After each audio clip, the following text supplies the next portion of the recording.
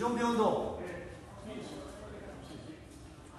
관련도가 1, 2, 3, 4, 5. Vou botar essa cana para botar 1, 2, 3, 4, 5. Mão de lado. 1, 2, 3, 4, 5.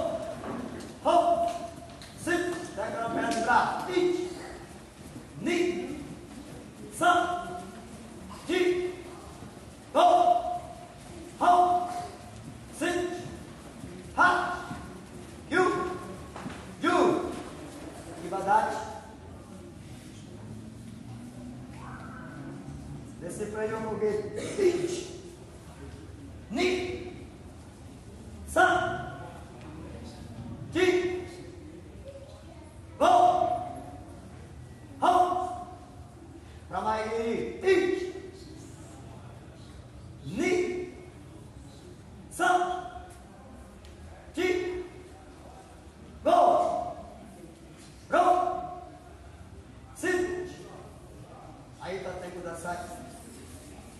Dá uma intercalada aí, vou agora, dá uma intercalada. Organiza, tá? Aí. Que!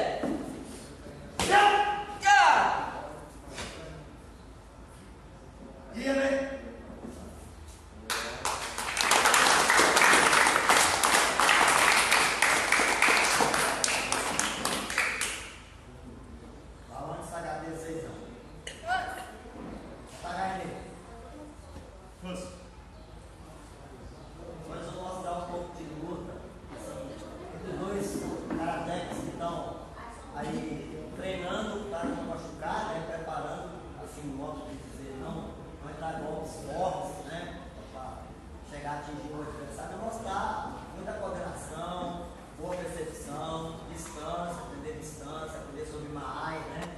Distância, que é uma das coisas muito, muito difíceis hoje conquistar dentro da, das lutas é a distância. Quando a pessoa aprende a dominar essa distância, ela evolui muito.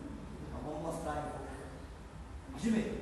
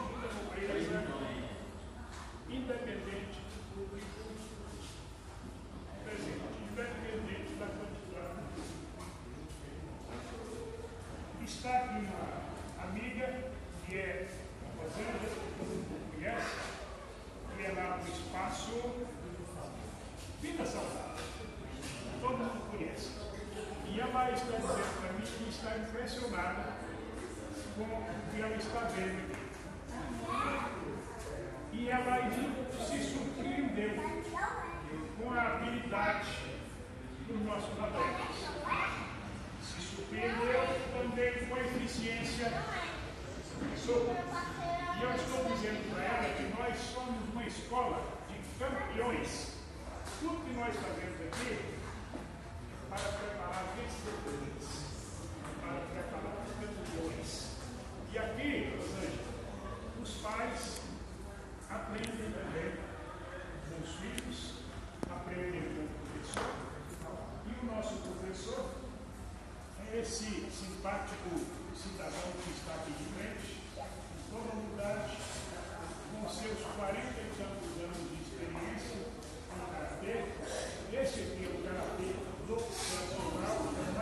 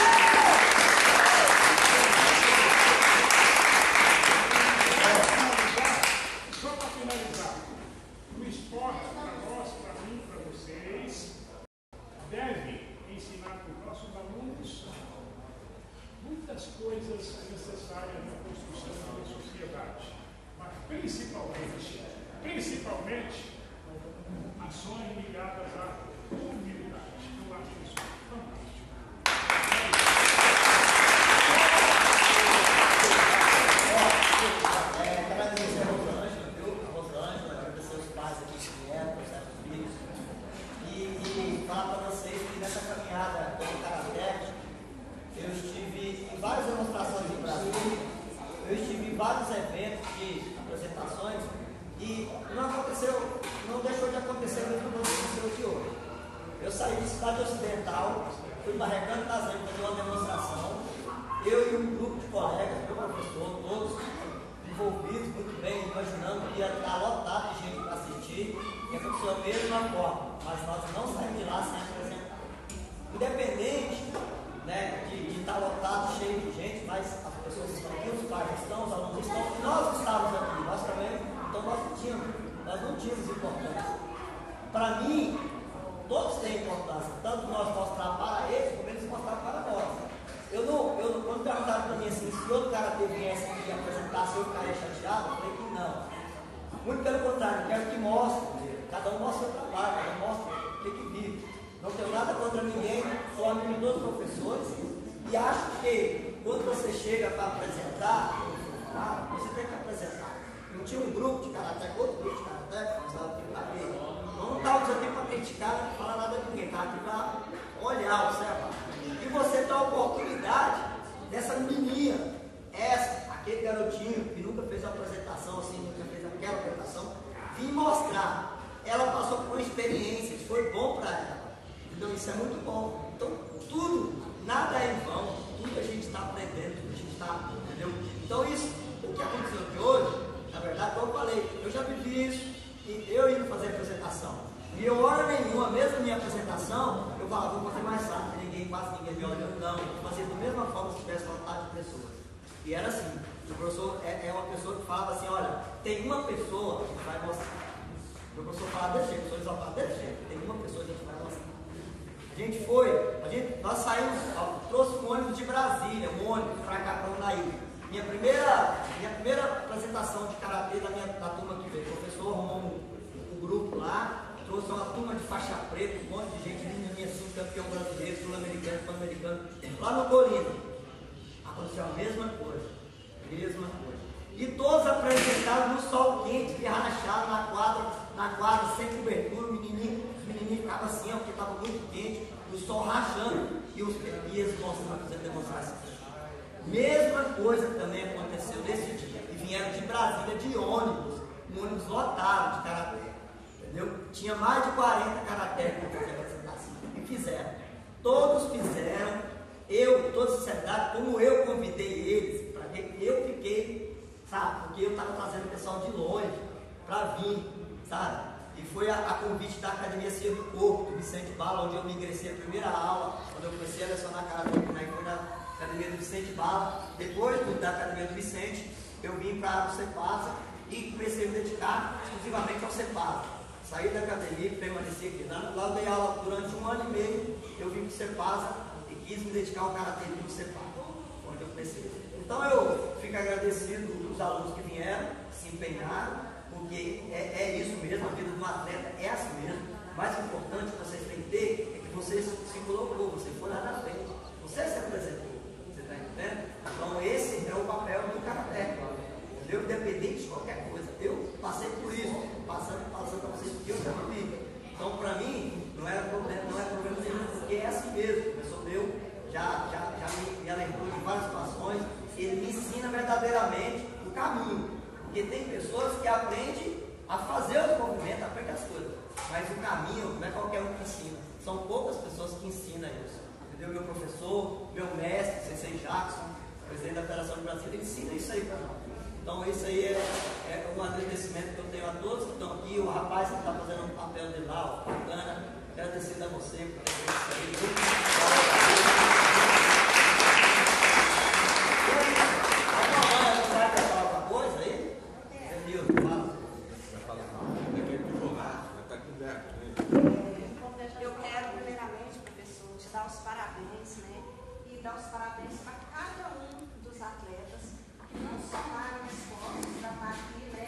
E não se importaram com a limitação do público. Então, eu hoje estou muito orgulhosa de cada um de vocês, né? Vocês sabem que eu conheço, né? Vocês desde pequenininho na academia, né? Então, assim, ó, hoje vocês me encheram de orgulho. Parabéns.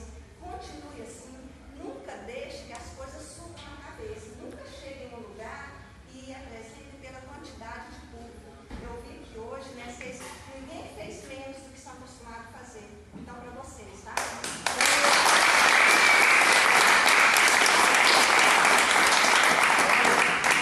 Aí vai ter que dar saída, né? E nós encaramos todo esse que a gente vive é, como uma aula também, como um aprendizado. E, e, e a gente vai nessa caminhada vai sempre ser assim, vai sempre estar aprendendo. A gente vai, a gente, vai- a gente nasceu, a gente vai morrer e vai continuar aprendendo. Sessei Tanaka, quando Sessei Tanaka estava na cama do hospital, de última hora já, prévia a, a, a, a realmente partir dessa vida para outra vida, Sessei Tanaka, quem viu o vídeo dele, fazendo karatê, fazendo karatê, deitado na cama fazendo karatê.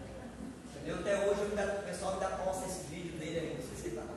Entendeu? Então não existe, só quando você não, não tem mais nessa vida, né? Mas quando você, né? Quando você está aqui, você ainda consegue ainda o último. O Tanaka puxou o último, os últimos finais de vida Lá até a, o falecimento do secretário. Tá bom? Então, obrigado a todos. Essa é a.